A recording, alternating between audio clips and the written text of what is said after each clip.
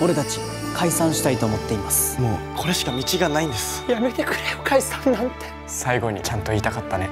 飛鳥さんに。ありがとうって。解散したいって言われたらあなたならどうする？